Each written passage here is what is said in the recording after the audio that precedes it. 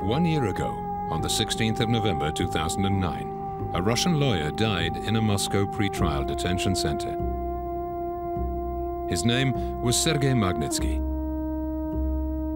His death fueled outrage among politicians and world leaders, and in the streets of Moscow.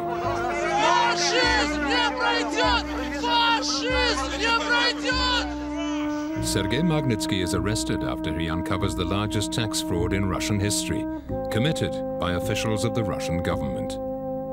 This particular fraud seems to be of enormous size. Nobody ever heard anything even close to that before. Magnitsky testifies against the officials involved. One month later, he's arrested by those same officials and put in pretrial detention for over 11 months.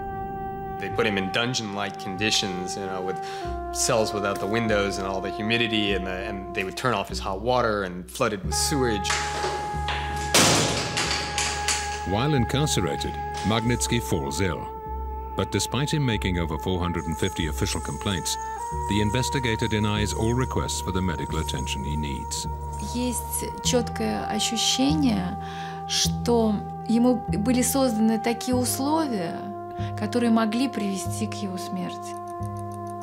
Sergei Magnitsky dies on November 16, 2009.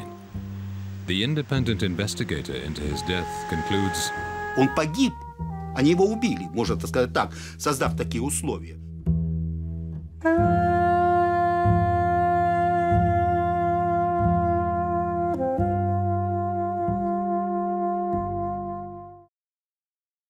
Available now on iTunes.